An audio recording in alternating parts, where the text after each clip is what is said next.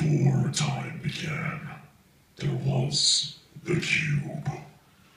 We know not where it comes from, only that it holds the power to create worlds and fill them with life.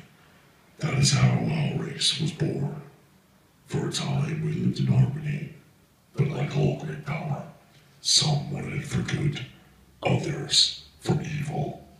And so began the war. A war that ravaged our planet till it was consumed by death, and the cube was lost to the far reaches of space.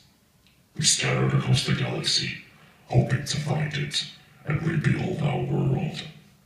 Searching every star, every world. And just when all hope seemed lost, message of a new discovery drew us to an unknown planet called Earth.